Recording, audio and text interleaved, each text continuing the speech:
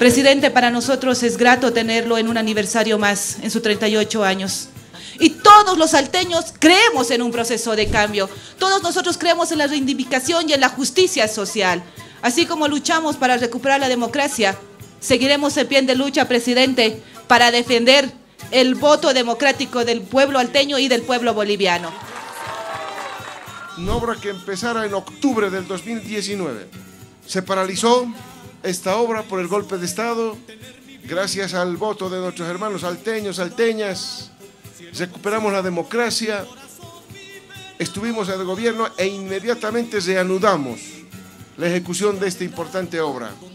Lo que significa, y estamos como gobierno haciendo grandes inversiones en la ciudad del Alto por mejorar el alcantarillado.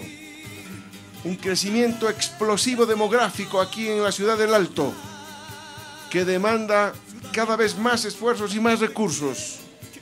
Y el gobierno nacional viene hoy a decirle al pueblo alteño, hermanos alteños, aquí está su gobierno nacional apoyando a hacer obras para nuestros hermanos alteños.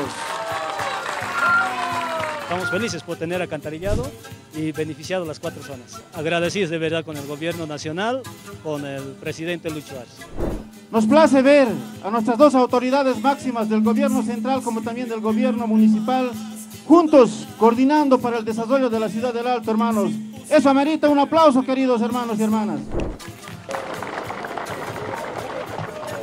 Hay en el Alto, hermanas y hermanos, todavía muchos distritos que se proveen de agua para beber de pozos.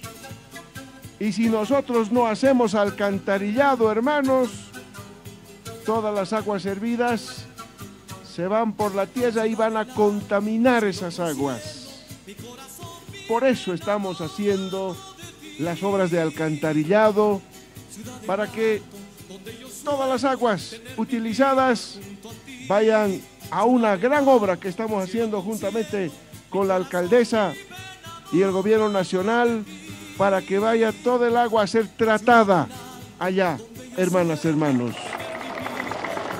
Los principales pilares de nuestra política de gobierno es preservar y cuidar la salud de nuestros alteños, la salud de nuestras alteñas, hermanas, hermanos. Por eso saludamos en este distrito la construcción que va a hacer nuestra hermana alcaldesa de un hospital, aquí de segundo nivel en el distrito 8. Y aquí está su gobierno nacional del pueblo haciendo obras por el distrito 8.